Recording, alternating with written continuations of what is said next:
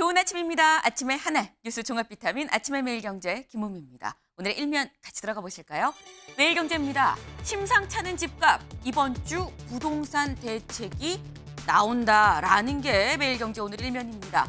집값이 이 집값이 심상치 않다라는 거죠. 이걸 좀 보겠습니다. 서울 아파트 매매 거래량을 얘기를 하는 건데 작년에 월 평균 거래량이 3,036건이었었어요. 근데 요 평균에서 다 지금 3월, 4월, 5월 쭉쭉 웃돌고 계속 올라가고 있는 추세죠. 6월은 여기 별표가 하나 붙었습니다. 5월보다 좀 낮긴 한데 이게 잠정치다 때문에 최종 발표가 나오면 더 높아질 수 있다라고 이 빗금까지 쳐져 있습니다. 이걸 보아하니 거래량이 왜 이렇게 많냐.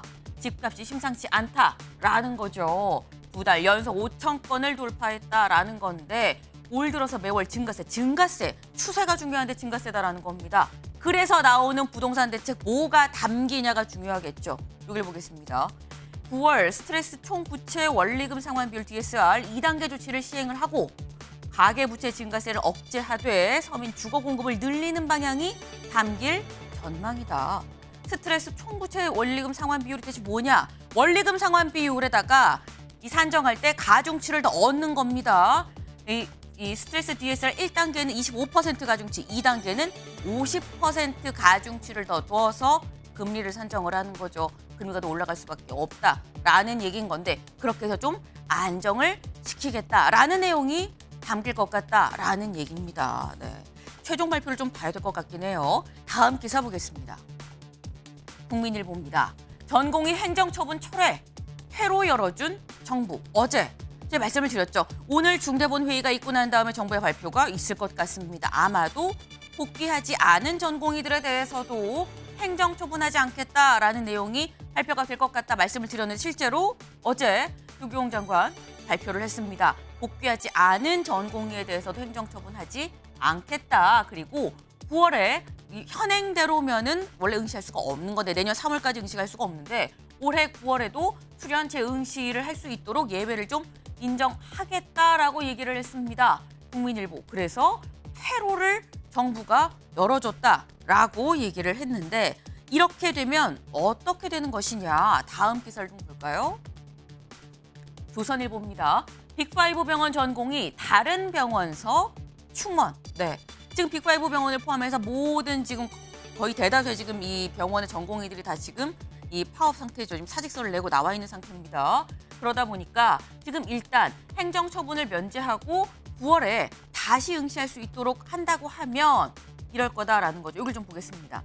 당장 오늘 9월부터 복귀가 가능하도록 수련 특례를 적용해서 사직한 전공의들이 원소속 병원으로 복귀하지 않고도 다른 병원에 하반기 전공의 모집에 응시할 수 있도록 하겠다라고 얘기를 한 겁니다. 이렇게 되면 이 얘기인 거죠. 전공의 선호도가 높은 이른바 빅5 병원부터 차례로 충원이 이루어지는 전공 연쇄 이동 가능성도 점쳐진다.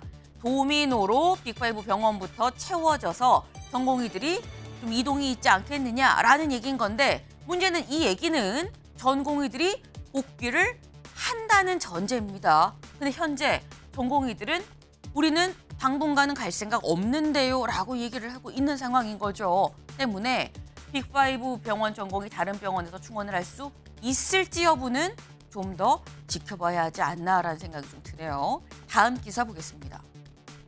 한국일보입니다.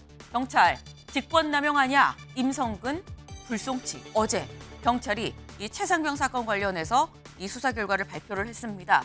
결론은 이렇다. 임성근 전 해병대 1사단장에 대해서 직권남용 아니다라고 해서 불송치 결정을 내렸다는 거죠. 그러면 다른 사람들은 어떻냐? 현장 지휘관 6명에 대해서 이 6명은 송치, 3명은 불송치 결정이 났습니다. 그리고 바둑판식 수색, 가슴 장화 등 이런 지시 관련해선 이 임성근 전 사단장인 지위가 없다라고 그동안 주장을 해왔는데 이 주장을 받아들였고 이 지휘권이 없기 때문에 직권을 남용한 것도 아니다라는 결론을 경찰이 내렸다는 거죠. 근데 이런 결정에 대해서 다음 기사 같이 보겠습니다. 경향입니다. 경향은 이렇게 제목을 뽑았어요. 임성근 무혐의 경찰청이 발표를 했는데 특검 필요성을 보여줬다라고 박정훈 전 수사단장의 입장을 같이 실었습니다. 이 수사, 이 경찰의 수사 결과에 대해서 이거는 오히려 특검을 해야 된다는 얘기 아닙니까? 라는 이 박정훈 전 수사단장의 목소리를 같이 실었다라는 거 살짝 결이 좀 다르죠. 저희가 두 개의 기사를 같이 보여드립니다. 다음 기사 볼까요? 동아일보입니다. 중국 북노동자 다 나가라.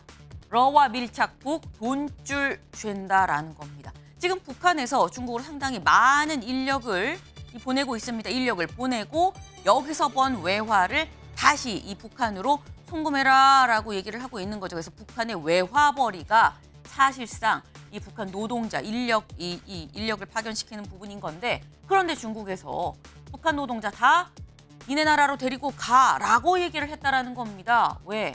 러시아랑 북한이 지금 밀착을 하고 있으니까 북한의 외화벌이 본줄을 죄는 거 아니겠느냐. 쉽게 얘기해서 중국에서 이른바 김정은 길들이기에 들어간 거 아니냐라는 해석이 나오고 있습니다. 상당히 좀 이례적인 상황이죠. 네. 다음은 사진 기사 같이 볼까요? 네, 여기가 어디냐? 우리나라입니다. 경북 네, 영양입니다. 네. 비가 계속해서 많이 오고 있죠. 특히나 한 곳에 엄청나게 단기간에 많은 양이 쏟아지고 있습니다. 그러다 보니까 경북 영양, 네, 이 한 마을이 무너져 내린 토사의 집이 완전히 집도 같이 파묻혀서 무너져 버린 지금 그런 상황입니다. 네. 이 모습을 보는 주민의 마음도 억장이 무너지지 않았을까 싶은데요. 이 비 피해 상황 저희가 좀 영상으로 준비를 했습니다. 같이 보고 오시죠.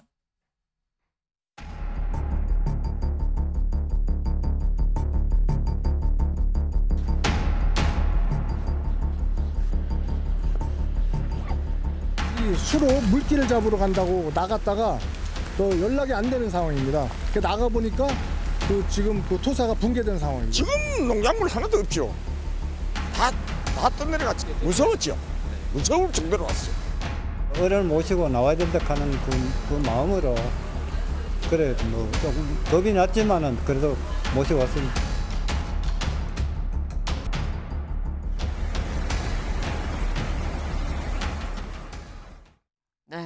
보기만 해도 아찔한 지금 그런 모습들이 저희 영상에 좀 담겼습니다.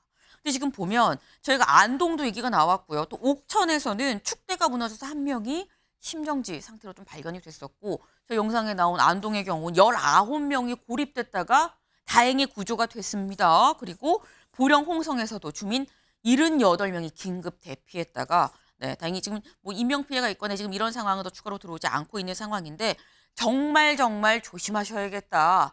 요즘 비가 예년에 장마 같지 않다라는 생각이 듭니다. 다음 기사 하나만 더 보죠. 멈춰선 장마 전선, 퍼부은 곳에 또 퍼붓는다. 이게 문제입니다. 때린데 또 때리면 더 아프죠. 퍼부은데 또 퍼붓는 장마라는 겁니다. 그 장마 전선이 원래 아래 위로 오르락 내리락 하면서 좀 비를 뿌려야 되는 건데 그렇지 않고 이번에는 오르락 내리락이 아니라 그냥 멈춰 서 있다라는 거예요. 장마전선이 이동 없이 중부에 고정이 돼 있다 보니까 수도권 남부 제주엔 좀 큰 큰 피해는 없긴 했지만 오늘 충청, 전라, 경상권에 집중적으로 비가 올 걸로 예상이 된다라는 거. 집중적으로 비가 오면 아까 저희가 그 영상으로 본 것처럼 토사가 무너지고요. 도로가 유실되고요. 이런 상황이 지금 빚어지는 겁니다. 오늘은 충청, 전라, 경상, 내일 새벽엔 수도권, 강원도입니다.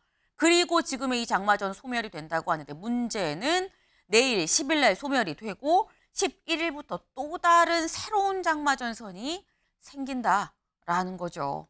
계속 긴장을 주시면 안 됩니다. 정말 좀 유의 말씀을 정말 정말 반복해서 꼭꼭 드립니다. 네. 저희 아침에 매일 경제 뉴스 종합 비타민 언제나처럼 TV로 크게 보시다가요. 궁금한 점 유튜브 댓글 남겨주시면 같이 좀 얘기를 해보겠습니다. 오늘 함께 해주실 분들 소개합니다. 안녕하세요. 안녕하세요.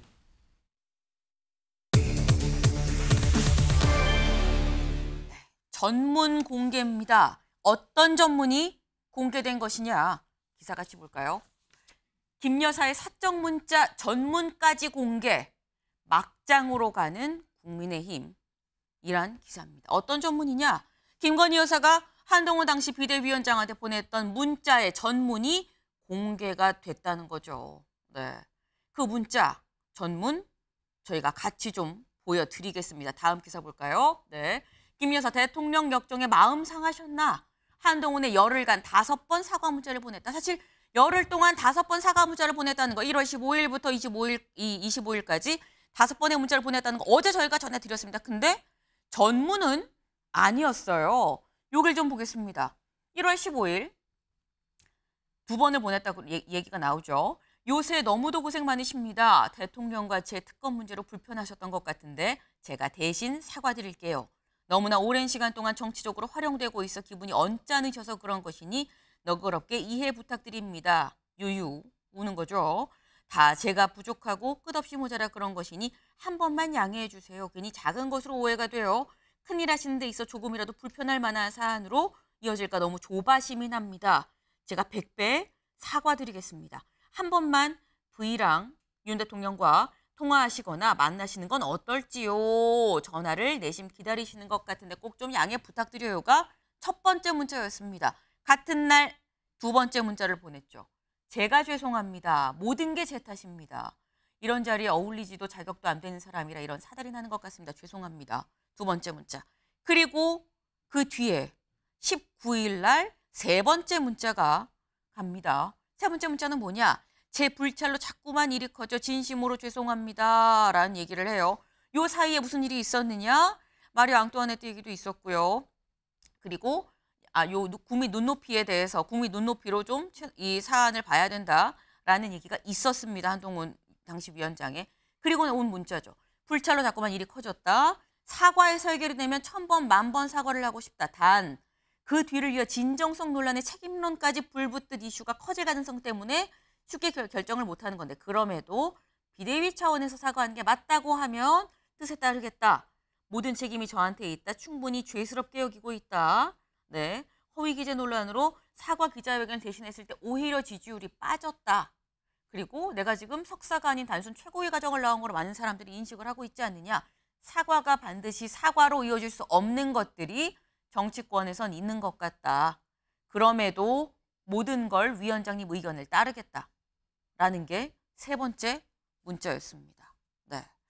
사실 네 번째, 다섯 번째 문자도 쭉 있어요. 네. 근데 주로 뭐 죄송하다라는 취지의 뭐 그런 얘기가 좀 있습니다. 하지만 뭐 결정해주면 따르겠다. 오해를 좀 풀어달라라는 취지의 내용들이 전문이 완전히 공개가 됐습니다. 근데 사실 어제까지 아니 원문이 뭔데 양쪽 해석이 다르다. 원문이 어떻길래 그래란 얘기가 있었죠. 미안하다고 얘기하겠다는데 왜 그걸 답을 안 하냐라는 쪽의 주장이 있었고요. 한동훈 후보 쪽에서는 미안하다가 방점이 아니라 사과할 수 없다는 게 방점이 아니냐라는 얘기가 있었습니다. 홍석준 의원님.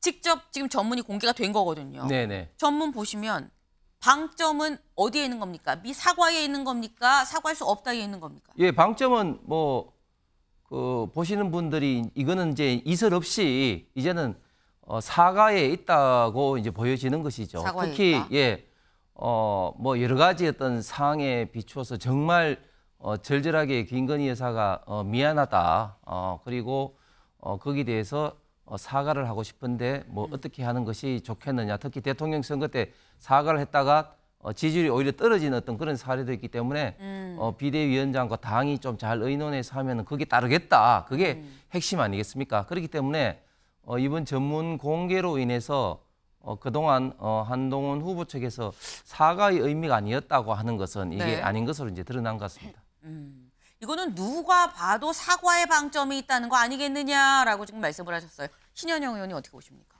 저는 이 문자를 보면서 김건희 여사가 사과에 대한 판단의 책임을 한동훈 비대위원장한테 당시 넘기고 있다라는 생각이 넘겼다. 듭니다.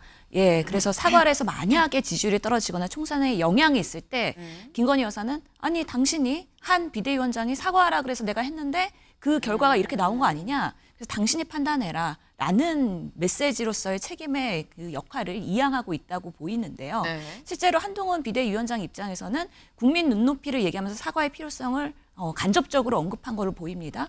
그럼에도 불구하고 여러 채널에서 사과할 수 없다라는 메시지들이 대통령실에서 나왔기 때문에 음. 그 부분에 대한 여러 가지 저항을 느끼고 있었는데 이 문자는 결국에는 김건희 여사가 사과를 하고 싶다라는 문자를 보내면서 본인은 뭔가 이 상황의 책임에서 면하고자 하는 의도가 있지 않나라는 생각도 듭니다.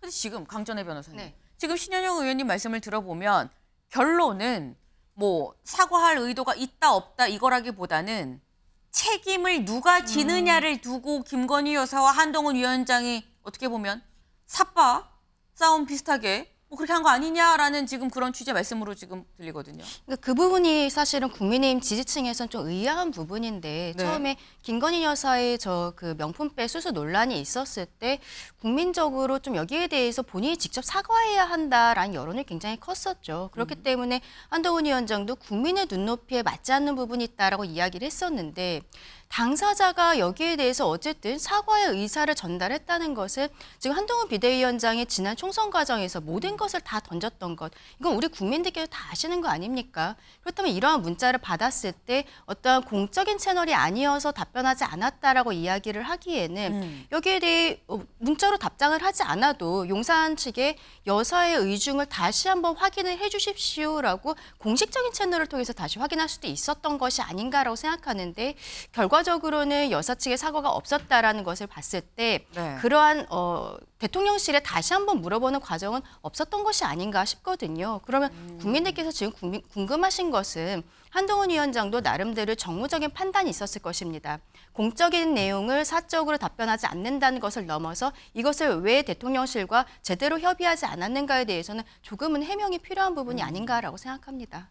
조금은 한 후보의 해명이 필요한 부분도 있지 않겠느냐라고 말씀을 지금 하셨어요. 그런데 저희가 지금 이 다섯 개의 문자 중에서 앞에 저희가 지금 세 개만 봤죠. 근데 요 1월 23일에 보낸 네 번째 문자 내용을 좀 같이 보겠습니다. 어, 이런 내용이 있어 라고 약간 주목이 되는 부분이죠. 요 며칠 제가 댓글팀을 활용하여 위원장님과 주변에 대한 비방을 시킨다는 얘기를 들었습니다. 너무도 놀랍고 참담했습니다. 함께 지금껏 생사를 가르는 여정을 겪어온 동지였는데 아주 조금 결이 안 맞는다 하여 상대를 공격할 수 있다는 의심을 드린 것조차 부끄럽습니다. 제가 모든 걸 걸고 말씀드릴 수 있는 건 결코 그런 일은 없었고 앞으로도 결코 있을 수 없습니다. 김경률 회계사님의 극단적인 워딩에 너무도 가슴이 아팠지만 위원장님의 다양한 의견이란 말씀에 이해하기로 했습니다. 전에 말씀드렸듯 제가 너무도 잘못을 한 사건입니다. 저로 인해 여태껏 고통의 길을 겪어오신 분들의 노고를 해치지 않기만 바랍니다. 위원장님께서 그럼에도 불구하고 사과가 필요하다고 판단하시면 제가 단호히 결심하겠습니다. 진심으로 잘못을 뉘우치고 있으면 다시 한번 여러 가지로 사과드립니다. 라는 게 네 번째 1월 23일에 보낸 문자였습니다. 근데 여기서 서영주 대변인 네. 댓글팀 얘기가 나와요. 그래서 이건 갑자기 무슨 얘기지? 라는 대목이 바로 이 부분인 거거든요. 뭘까요, 댓글팀? 그러니까 이제 전체적으로 이번에 이제 국민의힘의 전당대회를 보면서 네. 김건희 여사 문자가 공개되면서 지금 뭐 문자밖에 안 보이잖아요. 음. 근데 저는 이 문자가 전당대회가 끝나도 이게 또 하나의 정치적인 쟁점이 될 것 같습니다. 본인이 고백한 것들이 너무 많아요. 그러니까 여기에서 해답지 그동안 우리가 궁금했던 해답지를 다 찾을 수 있어요. 그러니까 제가 댓글팀을 활용해요. 그러니까 댓글팀을 활용한다는 걸 인정한 겁니다. 근데 데- 그 댓글팀을 가지고 한 위원장에 대해서 비방하지는 근데 여기도 않았다. 인정, 내가 내가 했어요라는 얘기는 없어요. 아니 댓글팀이라는 그냥 거의 비슷한. 겁니다. 왜냐하면 제가 댓글팀을 활용, 활용해요. 그러니까 주로 빈번하게 했다는 거예요. 네. 이거는 이거 그냥 그 문맥을 해석하면 알 수 있는 것이고 나중에 따지고 보면 그런 것인데 어, 그 부분에 대해서는 본인이 이제 그 자충수를 둔 것이고 그 다음에 두 번째 저는 보면은 대통령이 이렇게 서운한 말을 했다, 격노했다. 그러니까 그 다음에 뒤에 보면 나 때문이라고 나와요. 저로 인해서. 그러니까 유난 갈등의 중심은 아 김건희 여사의 이 명품백 건을 거론하면서 화가 났구나. 라는 걸 우리가 이제 확인 가능하잖아요. 그 당시에는 대통령실에서 어땠습니까? 그 김경률 비대위원 뭐 공천이 뭐, 뭐 인위적으로 사적으로 했다라는 부분들이 잘못됐다 했지만 결국에는 김건희 여사 이 명품백을 거론한 자체에 대통령이 화를 냈다. 공사 구분이 안 된다는 게 나타나 버린 거예요. 대통령 자체가. 그러니까 너무나 많은 부분들 여기서 면면을 들여다볼 수 있고 저는 가장 의아한 게 그렇습니다. 왜 한동훈 위원장한테 저렇게 계속 사과드리고 뉘우치죠? 음. 국민한테 뉘우쳐야 되는 거 아닙니까? 아 일국의 대통령의 배우자가 본인이 사과를 할 일을 저질렀다면 그 사과를 본인이 결정해서 그 대상은 국민이에요. 근데 국민한테 사과를 한다고 결정하면 될 일을 자꾸 한동훈 위원장한테 잘못했습니다. 사과드립니다. 결정해 주세요. 이런 거는 따지고 보면 좀 목리 부리는 문자라고 보입니다. 답해. 나한테 답을 안 해? 하면서 거의 일기 쓰듯이 문자를 보내잖아요. 근데 한동훈 위원장은 공사를 구분해서 공적으로만 계속해서 대통령실에 사인을 줬음에도 불구하고 그거를 김건희 여사가 몰랐을까요? 저는 충분히 알았을 거라고 봅니다. 최근에 보면 한동훈 그 전 위원장한테만 그런 게 아니라 최근에 그 조국 혁신당에 들어온 제보를 보면 타 그러니까 이 윤석열 대통령 이 정부의 다른 국민하고도 문자를 주고받은 부분들이 있다라는 증- 점을 봤을 때는 섭정의 영역까지 가지 않았냐. 라는 측면들이 이제 정치적 부시로 남았다. 저는 그게 네. 좀 평가라고. 근데 서영주 대변인의 개인 생각입니다. 하지만 그런 부분까지도 추론이 가능한 거 아니겠느냐라는 주장을 지금 하셨어요. 홍석준 의원님. 예, 저희 그 국민의힘 전당대회 어느새 그 우리 민주당 그 진영의 많은 분들이 지금 한동훈 후보를 많이 응원하고 계시는 것 같아요. 사실 모든 것을 이제 변호를 하고 있는 것 같은데, 어 근데 어 저희들 입장에서 참 그 안타깝고 좀 이해 안 되는 부분이 사실 어 김건희 여사랑 한동훈 그 위원장 그 전에 사실 뭐 이런저런 이유로 자주 연락을 주고 받으면서 굉장히 이제 소통이 이제 잘 됐고 어, 그런 점들로 사실은 어, 대통령하고의 관계가 조금 어렵더라도 그런 게 이제 풀어지지 않겠나고 생각을 사실은 그 전에 했었는데 이번에 소위 말해서 이제 문자 이런 어떤 어, 사단을 보면서 아 정말 우리 한동훈 그 후보와 당시에 비대위원장 때 너무 소통이 안 됐구나.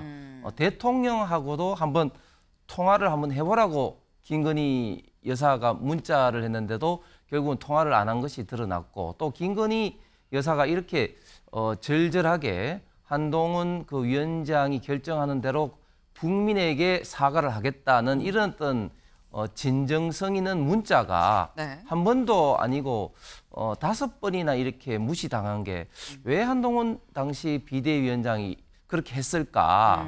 어, 당시에는 굉장히 이게 어, 중요한 이슈였는데 그리고 저희 당에게는 굉장히 좀 아픈 이슈였는데 왜 한 번도 이렇게 하지 않았을까? 이런 점들이 참 어, 이해가 안 되고 좀 아쉽게 생각합니다. 네. 민주당에서는 한동훈 후보가 되길 바라는 것이냐라는 취지로 말씀하시는데 손을 번쩍 드셔서요, 서영주 대변인님. 제가 네. 뭐 한동훈 후보가 되든 어쩌든 짧게, 우리 당하고 네. 상관없잖아요. 근데 저는 그거예요. 국정농단이라는 게 어려운 규정이 아닙니다. 선출되지 않은 권력 자체가 국정에 개입하는 게 국정농단이에요. 대통령 배우자는 선출된 권력이 아닙니다. 대통령의 행위를 해서도 안 되고 대통령이 척도 안 되고 국정에 개입은 안 돼요. 국정도 단순합니다. 총선 개입, 당무 개입 하면 국정농단이에요. 그러니까 그런 일들이 지금 저지르고 있음에도 불구하고 우리 국민들한테 이 막장 드라마를 보여주는 것들이 저는 국민의힘한테 좋을 게 없다라는 얘기를 하는 것입니다. 네. 지금 서영주 대변인께서는 지금 요 문자로 인한 논란이 단순 전당대회가 아니라 전당대회가 끝나도 뭔가 계속 파장이 있을 것 같다라고 말씀을 하셨어요. 지금 저희가 요 댓글팀이 뭐지? 라는 데좀 관심을 갖게 되는 이런 상황이 지금 됐죠. 오늘 기사도 나왔습니다. 다음 기사 볼까요? 문자 속 댓글팀 등장. 여권, 김 리스크 재점화 우려입니다. 네. 지금 댓글팀은 무슨 얘기냐? 이준석 의원이 이렇게 얘기를 했어요. 들어보실까요? 댓글팀이라는 용어가 어, 나왔다는 것 자체가 좀 신기한 거죠. 왜냐하면 이제 이 텍스트만 놓고 봤을 때는 예. 한동훈 위원장이 김건희 여사 측에서 댓글팀을 이용해 자기를 공격한다고 오해하는 것에 대해 가지고 그거 아니다라고 부인하는 것으로 보이거든요. 음. 그러면 한동훈 위원장은 왜 김건희 여사가 댓글팀을 사용한다고 오인했을까라는 네. 생각이거든요. 네. 과거에 다른 인사가 썼던 표현에서는 약간 비슷한 뉘앙스를 느끼기 때문에 어떤 인사인데요? 예? 말하면 안 되죠 지금은 나중에 면책 특권은 있을 테겠습니다. 네. 이준석 의원. 아니 뭐 지금 말할 수 없다. 나중에 면책 특권이 있을 때 말을 하겠다라고 지금 얘기를 했어요. 신현영 의원님. 면책 특권은 국회의원만 갖고 있는 그 권한이죠. 면책 특권이 있을 때 말한다는 건 뭔가 굉장히 센 발언을 아닐까란 추측이 들거든요. 무슨 내용일까요? 예, 그렇죠. 국회의원들은 국회 내에서의 발언에 있어서 면책권을 갖게 되는데요. 그렇기 때문에 보호될 수 있는 상황에서 적절한 시기에 얘기했다는 걸로 이해가 됩니다. 이준석 의원은 국민의힘 당 대표였기 때문에 아마 여러 가지 순환을 겪으면서 아마 댓글팀에 대해서도 직접적으로 본인이 경험을 하거나 수모를 당했을 가능성이 매우 높은 상황입니다. 그런 면에서는 당 내부에서 그리고 대통령실과 김건희 여사에서 어떤 댓글팀이 어떻게 내부에서 작동하는지에 대한 원리를 아, 경험적으로 알고 있을 건데요. 지금 인터뷰에서 하는 것보다는 적절한 시기에 국 회 내에서 안전한 상황에서 이런 부분에 대해서 본인이 폭로하고 이런 악순환의 고리를 본인이 깨야겠다라는 뭔가 결심을 한 것으로 보입니다. 그래서 적절한 시간에 빠르게 이 댓글팀이라는 부분이 어떻게 국민의힘 내부에서 작동하고 있는지에 대해서 분명히 어, 명확, 명확하게 알려져야 한다고 생각을 하고요. 특히 이 김건희 여사의 문자의 논란에서 가장 중요한 키워드가 바로 댓글팀이라고 생각을 합니다. 새로운 그런 내용들이 드러난 만큼 이 부분에 있어서는 전당대회와 상관없이 우리 정치의 건전성을 위해서는 분명히 어, 우리가 명확하게 짚고 넘어가야 되는 내용이라고 생각합니다. 강전혜 변호사님. 네, 근데 뭔가 지금 이 댓글팀 상황이 새로운 리스크 아니냐라는 이런 지금 기사도 지금 나왔어요. 맞습니다. 댓글팀이라는 단어가 나온 것 자체도 그렇지만 이준석 의원이 지금 방송에서 이야기를 했기 때문에 더 무엇이 있는 것이 아니냐라는 음. 이야기들이 나올 수 있는데요. 저는 이준석 의원이 면책특권이라는 그 권한 뒤에 숨으려고 하지 말고 본인이 할 얘기가 있으면 정당히 했으면 좋겠습니다. 국회의원의 면책특권이라는 것도 사실상 대법원 판례에 따르면 허위사실이라는 것을 인지하고서도 면책특권을 뭐 그 만약에 이야기를 하게 됐을 때는 네. 거기에 대해서까지 명예훼손죄에 있어서의 면책특권을 적용해 주는 것은 음. 아니다라는 대법원 판례가 있거든요. 그렇다면 이준석 대표가 지금 인지하고 있는 내용들이 어느 정도 사실이라고 본인이 생각을 하고 있기 때문에 지금 면 책특권 될 때 뭐 얘기하겠다라고 하는 것 같은데 그런 네. 상황이라면은 그냥 사인으로서 이야, 방송에서 이야기를 해도 가능한 부분들이 있습니다. 음. 저렇게 무엇이 있는 것처럼 의혹이 있는 것처럼 뒤에 말하겠습니다라고 하는 것이 음. 일을 더 크게 만들고 있다. 그 부분 꼭 지적하고 싶습니다. 네. 사안을 괜히 좀 더 크게 과장하고 부풀리는 그런 역할을 하는 건 아니냐라는 뭐 그런 지적이세요. 그럼 저희가 다른 오- 이제 문자가 지금 다섯 개를 보냈죠. 김 여사가 한 위원장한테. 근데 그 중에 다섯 번째 문자를 좀 볼까요? 네. 이겁니다. 1월 25일에 보낸 문자예요. 대통령께서 지난 일에 큰 소리로 역정을 내셔서 마음 상하셨을 거라 생각합니다. 큰 맘 먹고 비대위까지 맡아주셨는데 서운한 말씀 들으시니 얼마나 화가 나셨을지 충분히 공감이 갑니다. 다 저희의 잘못으로 기인한 것이라 뭐라 드릴 말씀이 없습니다. 조만간 두 분이서 식사라도 하시면서 오해를 푸셨으면 합니다. 정말 죄송합니다. 라고 얘기를 했어요. 이 날짜가 1월 25일이죠. 근데 혹시 기억하시나요? 네. 지금 이 문자는 1월 25일인데 이 전전날 23일에 윤 대통령과 한동훈 위원장 보시는 것처럼 저 서천 화재 현장에서 만났습니다. 그래서 갈등 봉합이다라는 보도가 나왔고요. 언론에서도 그렇게 얘기를 했었죠. 근데 23일에 저렇게 만나서 같이 KTX를 타고 올라왔는데 그 다음 다음 날인 25일에 조만간 두 분이서 식사라도 하시면서 오해를 푸셨으면 합니다. 라고 문자를 보냈어요. 강 변호사님. 네. 이 얘기는 그럼 23일에 서천 화재 현장에서 사실 민주당에서는 90도 인사 막 뭐라고 했었거든요. 근데 그런 상황이 봉합 인줄 알았는데 봉합이 아니었다. 여전히 갈등 상황이었다라는 겁니까? 예, 아무래도 김건희 여사가 문자를 보낸 시청을 봤을 때는 그것이 맞는 것으로 보입니다. 네. 23일에 어, 뭐 눈이 내리는 날 그 서천 화재 현장에서 대통령과 한동훈 비대위원장이 만났었지만 대외적으로는 어쨌든 만남의 모습들이 보였었고 그렇다면 이제는 갈등이 봉합된 것이 아니냐라고 음. 언론에서는 보여졌었는데 이 김건희 여사의 문자 문자가 이제 드러나면서 당시에는 대외적으로만 봉합이 되었던 부분이 아닌가라는 지금 의혹들이 있는 것인데요. 근데 앞서 앞서 서영주 대변인님 말씀하신 내용 중에서 민주당에서는 이 상황에 대해 김건희 여사의 문자가 국정농단이다라는 형태로 지금 이야기하고 있는 것에 대해서는 동의할 수 없다는 말씀 좀 드리고 싶습니다.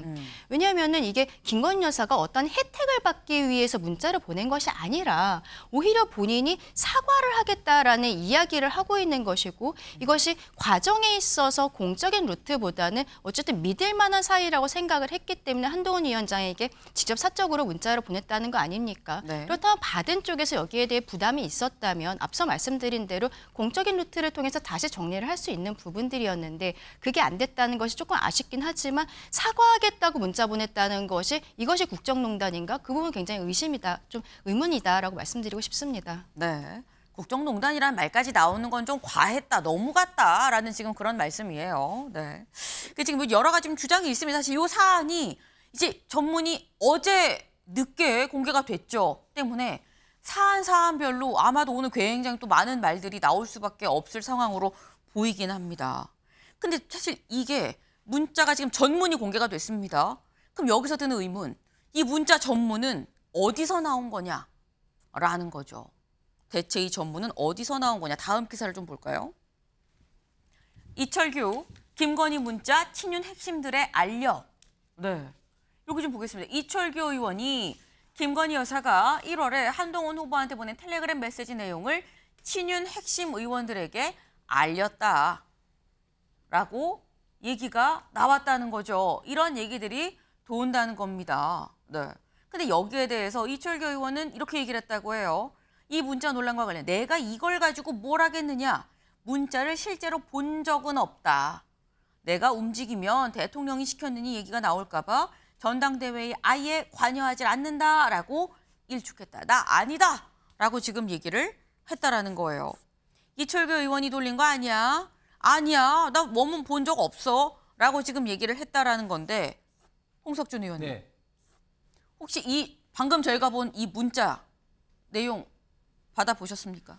예, 저는 저는 어, 이, 이, 그 언론에 나오고 난 다음에 받아봤어요. 언론에 예, 나오고 난 예, 다음에 예, 돌, 예, 도는 예, 거를 예, 받았다. 예. 그럼 그 문자는 지금 이철규 의원은 내가 보낸 거 아니다라고 하거든요. 그 지금 상황에서는 뭐 정확하게는 모르겠지만 아마 이철규 의원이 저렇게 명확하게 네. 어, 본인이 그 보낸 것이 아니다고 이야기한 상황에서는 뭐 이철규 의원은 믿을 수밖에 없는 상황이겠죠. 음. 어 그런데 이제 어 이철규 의원은 뭐 그 사실은 당에서 대통령과 가장 소통이 잘 되시는 분이기 때문에 네. 뭐 어떤 말을 하더라도 결국은 어, 이철규 의원의 이제 관심이 이제 쏠릴 수밖에 없는 어떤 그런 좀 어, 상황인데 음. 어, 저는 어, 지금 이 시점에서도 참 안타깝게 좀 생각하는 게 조금 전에 이제 앵커께서 1월 23일 서천 화재 사고도 네. 언급을 하셨는데 사실 그때도 어, 우리 MBN이나 많은 언론에서 이제 이슈를 다룰 때 어, 민주당에서는 이제 이제 결국은 짜고 치는 고스톱이었다. 뭐 그렇게 음. 하면서 왜 그 짜고 치는 고스톱을 이 서천 화재 현장을 이용하느냐, 악용하느냐 이렇게 많이 좀 어, 비판을 하면서 사실 저도 내심은 이제 KTX 그때 같이 타고 이제. 올라가셨으면서 그때 이제 허심탄회하게 일을 하면서 이제 풀지 않았겠느냐 이렇게 이제 기대를 했는데 결국 1월 25일 날 어, 조금 전에 김건희 여사 이런 어떤 문자 내용을 봐서는 어, 두 분이 허심탄회하게 어, 풀지를 못했구나. 그러면서 또그 이후에도 어, 한동훈 당시 비대위원장이 공사석에서 대통령과 많은 이야기를 한다고 했는데 어, 결국 그게 어, 사실이 아니었구나. 그런 것들이 지금 이런 문자를 통해서 어, 다시 한번 어, 아쉬움으로 좀 돌아온 것 같습니다. 네. 사실 그동안 풀린 줄 알았던 20년 교분이고 그러니까 봉합됐을 거다라고 했지만 풀린 거는 좀 아니 아니었다는 게 지금 좀 이제서야 나도 좀 알게 알겠다라는 좀 그런 말씀을 지금 하셨어요. 네. 그런데 이철규 의원은 나는 내가 한 거 아니야 라고 얘기를 했는데 근데 정말 맞잖아 라고 얘기하는 사람이 있습니다. 누구냐? 배현진 의원이 SNS에 이런 글을 올렸어요. 네. 작년 여름부터 총선까지 당 지도부 최요직에서 모든 그림을 그리고 손댔지만 극도의 무능함으로 서울 수도권의 대패의 맛을 남긴 자다.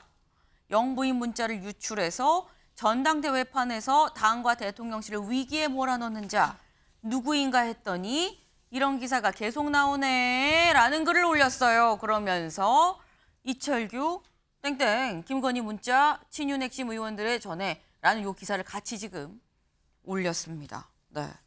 근데 여기에 대해서 이철규 의원도 또 자신의 SNS에 글을 올렸어요. 뭐라고 올렸느냐?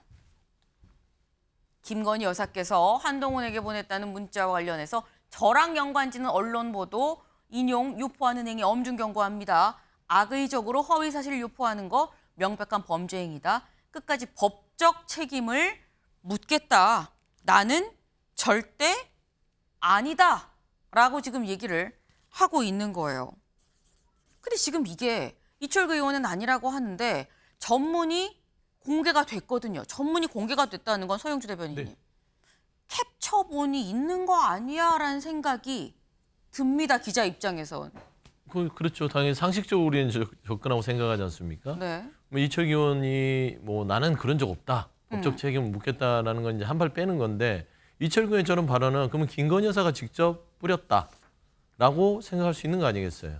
김건희 여사가 비서진을 통해서 여러 사람들에게 뿌리고 참전한 것이다. 그러면 일이 더 커지는 거예요. 뭐 이철기 의원이 친윤의 핵심이기 때문에 그렇게 좀 따지고 보면 정치적으로 너무 좀 이렇게 얕은 수를 쓰지 않을 거라고 생각은 하지만 그럼에도 불구하고 이런 식으로 강하게 나오는 거는 그러면 김건희 여사하고 한동훈 후보하고 둘이 나눈 사적인 문자 메시지를 한동훈 후보가 하지 않았으면 누굽니까? 그냥 당연하게 김건희 여사잖아요. 그냥 차라리 이철규 의원이 이 부분에 대해서 김건희 여사나 용산과 상의를 해서 판단해서 했음직한 그냥 발언으로 네. 마무리를 지으면서 넘어가는 게 좋지 저런 식으로 선을 그으면서 한 발 빼는 모습을 보이면 결국 이제 모든 책임은 김건희 여사가 용산에 지는 겁니다. 이 전당대회 개입한 꼴이 되잖아요. 아, 예를 들어서 김건희 여사 폰에서 이 문자가 유출됐다면 대통령실이 가만히 있겠습니까? 법적 조치를 하고 뭐 검찰이 고발하고 뭐 색출하려고 난리가 났겠죠. 네. 그러면 결국에는 이 전체 문자 논란에서 친윤 핵심 이철규 의원을 빼보십시오. 누가 남죠? 김건희 여사와 용산밖에 안 남습니다. 그래서 결국에는 이 문자 논란에 대한 모든 책임이 본인한테 돌아가면 이 전당대회 책임 향후에 본인이 저지른 일에 대해 책임져야 되기 때문에 조금씩 조금씩 지금 발을 빼는 스탠스다 정도로밖에 이해가 안 됩니다. 이철규 의원이 아니라고 얘기를 한다면 그럼 누구냐 여사냐라는 지금 그런 말씀을 하셨어요. 근데 조금 전에 박정훈 의원 지금 이번에 최고위원으로 나왔죠. 이 한동훈 후보랑 러닝메이트로 해서 최고위원이 선거에 나온 박정훈 의원이 뭐라고 했느냐? 누군가 이 전문을 공개한 건 누군가 문자를 자세히 불러준 것 같다라는 뭐 하- 불러준 것 같다는 뭐 본인 생각인 것 같아요. 불러준 것 같다라고 지금 언론 인터뷰에서 얘기를 했습니다. 그러면서 문자 공개를 그럼 누가 했느냐라는 거에 대해서 우리는 아니다라는 취지의 입장을 밝힌 것 같아요. 왜냐하면 한동훈 후보는 문자 일부가 지워져서 다섯 개 문자 모두를 갖고 있지 않다라고 얘기를 했다는 겁니다. 한동훈 후보는 문자 다섯 개가 다 없어서 알려줄래야 알려줄 수가 없다. 근데 이렇게 되면 강전혜 변호사님 네.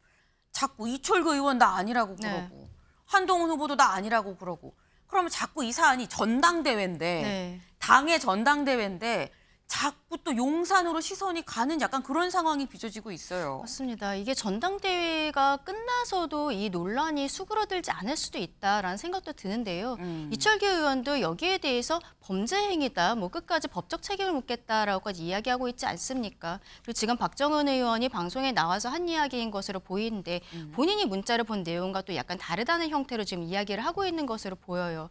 그렇다면 기본적으로 이 문자가 어 이제 언론을 통해서 유출이 되게 된 경위라든지 이것에 대해서 뭐 지금 국정농단이라고 하고 있는 민주당에서 특검하자고 할 수도 있을 거라고 생각하는데요.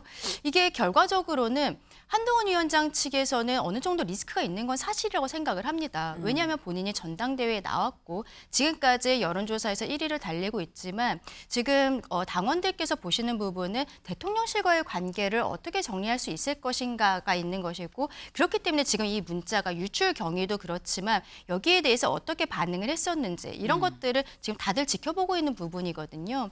여기에 대해서 음, 지금 전당대회 과정에서 사실 선관위 입장에서는 굉장히 좀 곤란한 이게 이슈이지 않습니까? 네. 전당대회가 끝나서도 당의 화합이 안 될 수도 있다는 부분에 대해서 우려를 표하고 있는데 그럼에도 불구하고 여기에 대해서 본인이 당대표 후보로서 나왔다면 은 조금은 더 명확하게 정리를 하고 저는 빠른 시간 안에 정리를 하고서 마무리를 해야 되지 않을까. 그래야 지금 뭐 이철규 의원이라든지 아니면 다른 쪽에 있어서의 좀 어, 좀 너무 과해 보이는 의혹 제기 같은 것을 마무리를 하고 좀 정책 대결로 가야지 않을까라고 음. 생각을 합니다. 네.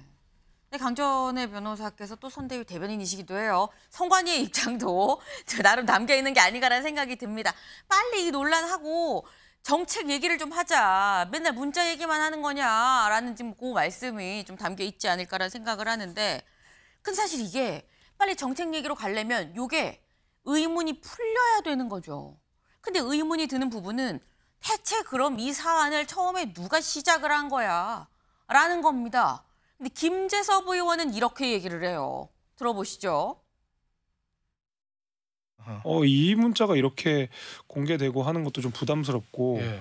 그에 따라서 뭐 어제 한참 소란이 있었지만은 제 연판장 사태에 대해서도 대통령실은 정말 난색을 표하는 그런 입장이었거든요. 그렇다 그러면 그 문자의 이야기는 대통령실의 손을 떠난 이야기였다고 음. 봐도 될 것 같아요. 그 부당한 전당대회 개입하는 그 개입의 주체는 누구라고 보십니까?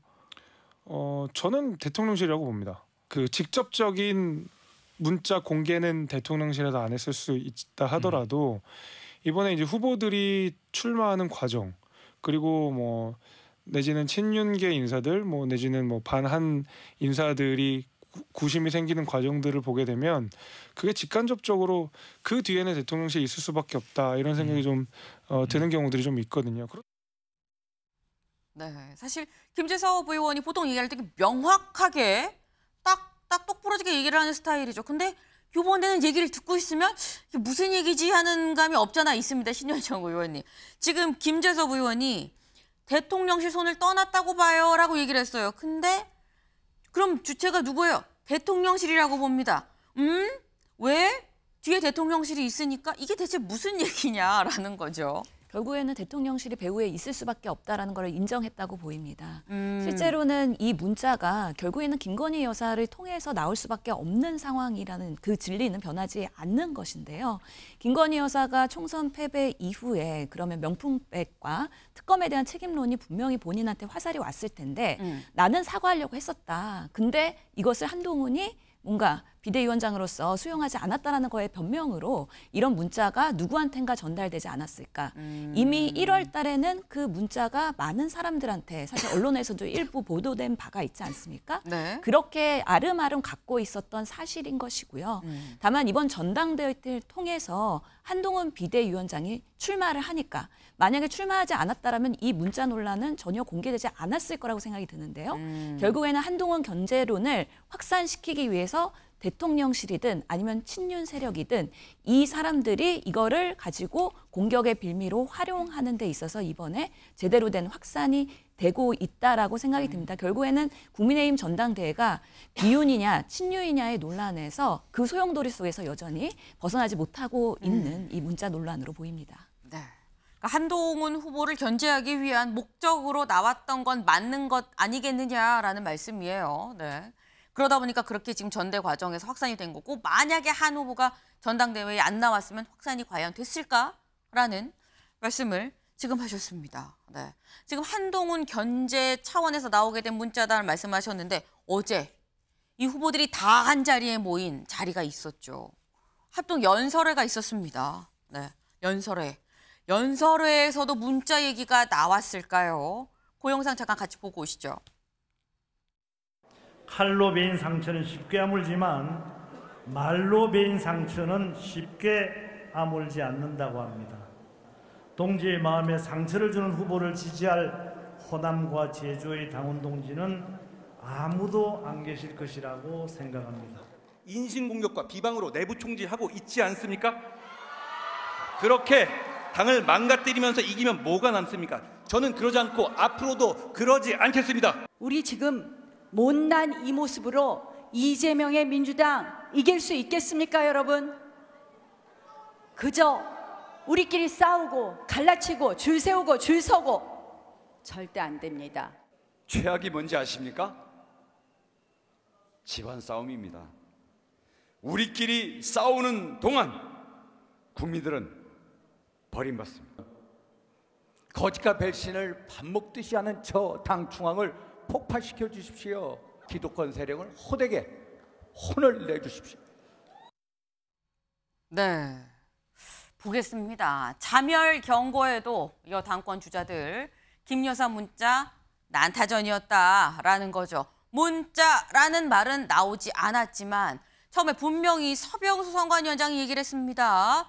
싸우지들 마요라는 취지로 지금 얘기를 했는데 근데 당권 주자들 연단에 서서 뼈 있는 말들을 했다라는 거죠. 근데 연단 위에서 할 때는 오히려 약간 톤 다운이 될 수 있습니다.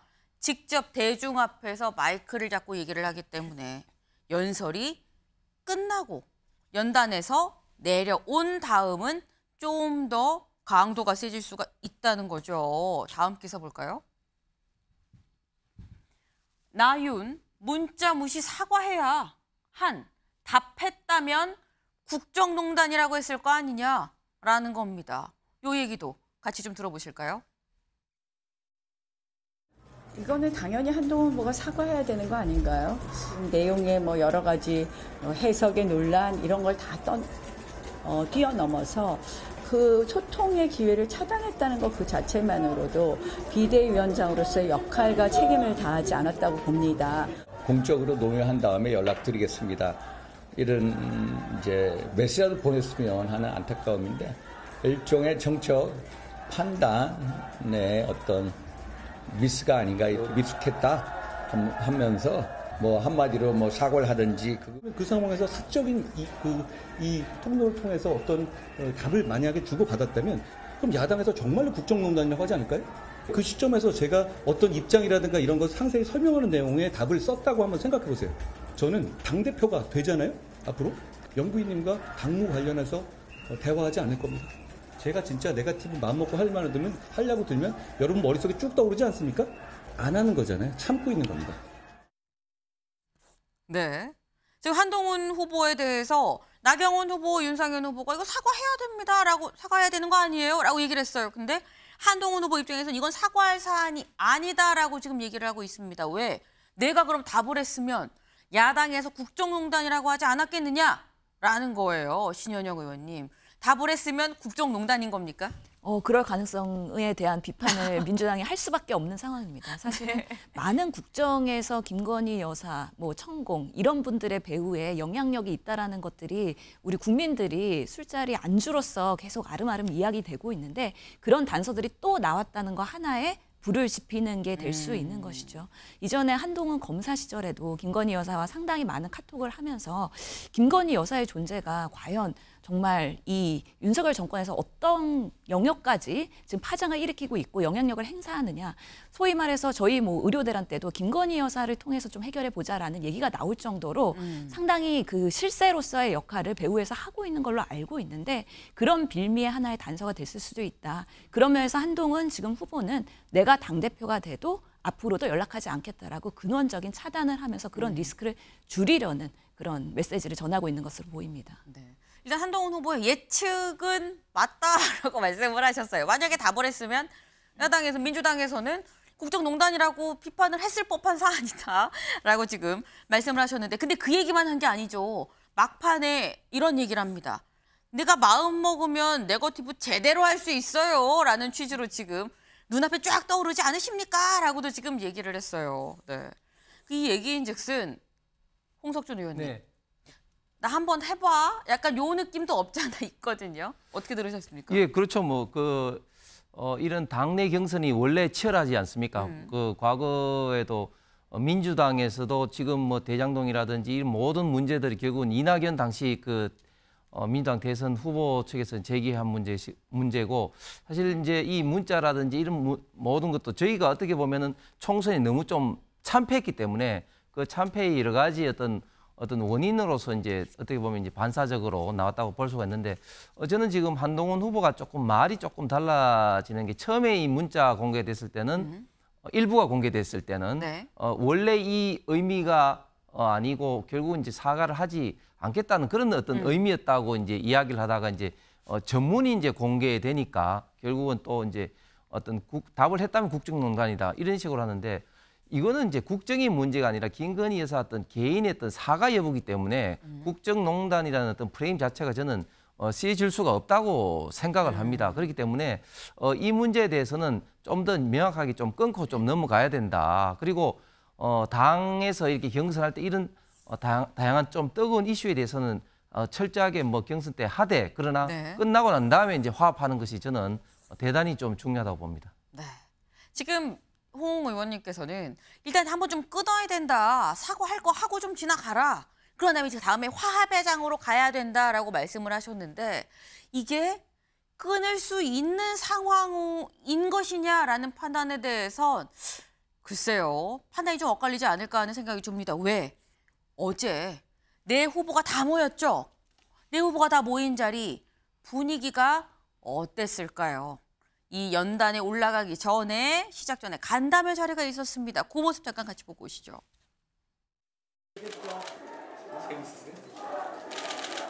말씀 좀 나누라는데. 갑자기 어른이 어른 지금. 오늘 뭐 이런 분위기로 좀 붙여주실래요? 좀 붙여주실래요? 뒤에 뒤에 뒤에. 저희 좀 앉아야 되겠다. 한번 해서 이렇게까지. 아니 또 위로 위로 위로 하면 너무 너무 둘이 거 같은데. 아니, 양강구도 많잖아. 둘이 제일 크고 양강구도 많다고. 나는 꼭 여기다 같이 붙여야지 안 되겠다. 같이 윤석열 의원님 또 오세요. 네. 지난 2일에 있었던 비전 발표회 때는 원희룡 후보가 한 후보 어깨 동무를 막 하면서 막 악수를 하고 엄청 친하게 그런 모습이 보였어요.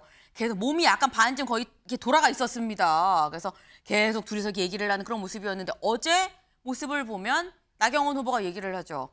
내가 일부러 가운데 앉은 거야. 싸우지 말라고라고 얘기를 해요. 근데 분위기가 분명히 다른 건 맞는데 저 분위기가 진짜 분위기냐? 왜? 카메라, 이른바, 그러니까 이른바 취재진이 빠진 뒤에도 저 분위기였냐라는 겁니다. 강전혜 변호사님. 네. 네. 성관이 지금 대변인이시잖아요. 네. 어제 전당대회 갔다 오셨죠? 네, 조금 아까 저 방 안에 있었습니다. 아. 카메라 밑에 앉아 있었어요. 취재진 빠지고 분위기 어땠습니까? 아, 사실 저 그 자리 배치에 대해서는 네. 나경원 의원께서 제일 먼저 오셨고 그 음. 다음에 한동훈 후보가 왔기 때문에 가운데 쪽에 앉아 있었던 것이지 미리 자리가 저렇게 뭐 배치가 되어 있던 것은 아니었었고요. 근데 이제 저렇게 스케치하는 모습만 기자들께서 같이 계시고 그다음에 나간 다음에 네. 어, 서병수 위원장님이랑 황우여 의대- 그 위원장님께서 지금 전당대회에 있어서의 어떠한 좀 너무 과해 보이는 모습들에 대해서 지적을 음. 하셨습니다. 그리고 전체적으로는 사실은 조금 경직되어 있는 분위기는 맞았다는 거 인정을 해야 될 것 같고요. 그렇기 때문에 그 이후에 사실 어, 연설회에서는 서로 간에 어떠한 뭐 대통령실이라든지 이런 것들에 대해서 음. 크게 이야기를 하지, 저 명시적으로 이야기는 하지 않았었는데 뒤에서 기자들과 만났을 땐 또 조금씩 말이 강해지지 않았습니까? 음. 어제 충분히 여기에 대해서 그 위원장님께서 선관위 측에서도 뭐 어떤 조치를 나갈 수 있다라는 부분에 대해서 말씀을 하셨고 네. 앞으로의 과정에 있어서 좀 단합을 해야 된다. 전당대회 이후를 생각해야 된다라는 황우여 비대위원장님의 말씀도 있으셨기 때문에 후보들이 앞으로는 조금은 이렇게 낮춰 수위를 낮춰서 서로 간에 건강한 경쟁하는 모습 보여줬으면 좋겠다라는 생각입니다. 네. 조금 전에 성관이 대변인의 모습이 보였습니다. 네. 이제 조금은 싸우지 말고 좀 서로 화합하는 그런 자리였으면 좋겠다라는 말씀을 주셨어요. 네. 오늘 TV 토론이 있죠. 이 네 후보들 오늘 토론을 합니다. 어제 있었던 연설에는 연설입니다. 1대 다예요. 근데 오늘 있는 토론은 주거니 받거니입니다. 오늘 있을 토론에서 어떤 얘기들이 나올지 관심이 가지 않을 수가 없네요. 네.